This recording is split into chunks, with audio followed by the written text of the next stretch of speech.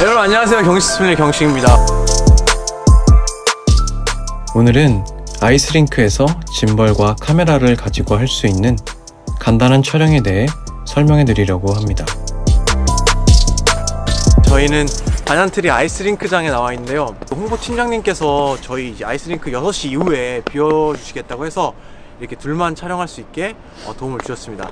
그래서 오늘 저희가 사실 스케이트는 잘 타지는 못하는데. 전 잘 타는데요. 오!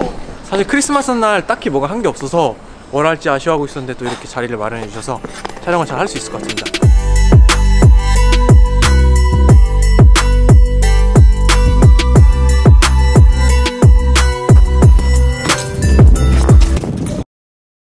아이스링크에서 사실 저희가 뭘 찍을 수 있는지 한번 봤는데 단조로워요 사실. 그리고 저희가 전문가가 아니기 때문에 타는 게 위험해서 어, 굉장히 심플한 장면을 가지고 뭐 두 장면에서 세 장면 정도로 구성을 해보려고 합니다. 우선 첫 번째 샷으로 보라가 가는 샷을 제가 옆에서 담을 거예요. 그리고 그 옆으로 가는 샷 그대로 발을 담아서 그 장면을 붙여서 연결을 해보도록 하겠습니다.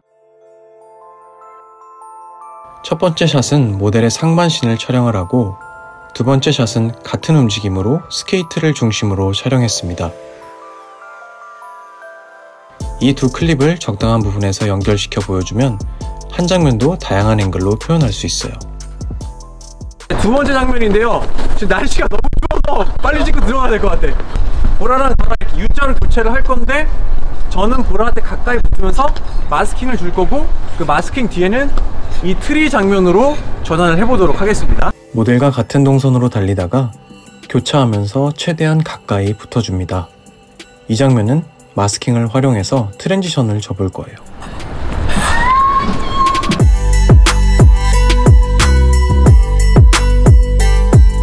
첫 번째 장면을 찍었으니까 바로 masking을 해서 이 트리가 나오는 장면으로 촬영을 해볼게요. 미리 자리를 잡고 있다가 모델이 지나갈 때 적당한 거리를 두면서 따라가 줍니다. 천천히 짐벌을 올려주면서 마지막은 트리만 나오도록 촬영해 보았습니다.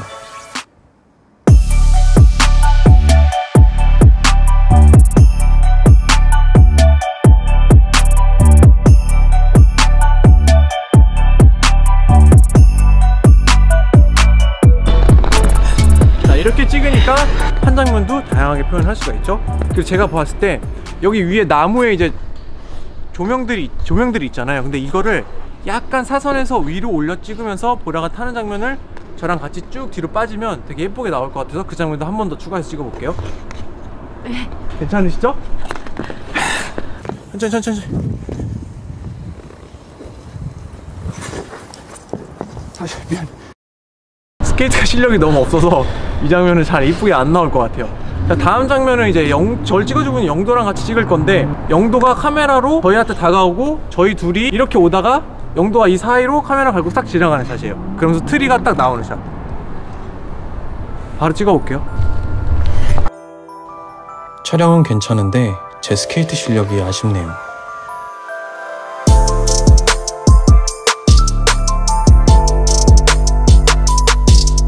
샷으로 이 별에서부터 시작을 해서 보라가 트리 앞에 앉아있는 샷을 한번 촬영을 해보도록 할게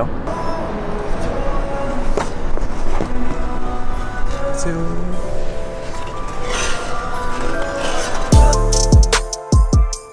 모델이 가까워졌을 때 시선을 카메라와 같이 가도록 연출을 해보았습니다.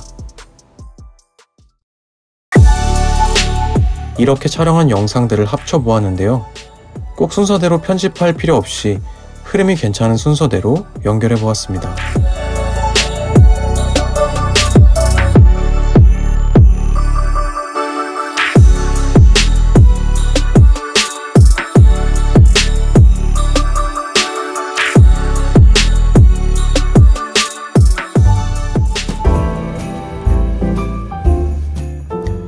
네, 여러분 재밌게 보셨나요?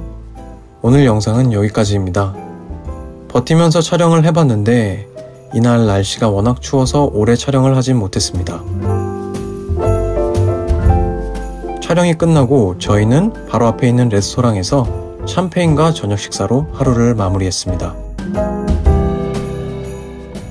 지금 위메프에서 반얀트리 아이스링크 할인도 하고 있다고 하니 가실 분들은 참고하셔도 좋을 것 같아요.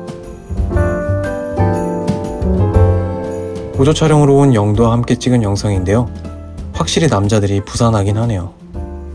친구들과 같이 와서 촬영을 해도 재밌을 것 같습니다. 그럼 다음 영상에서 다시 만나요. 안녕.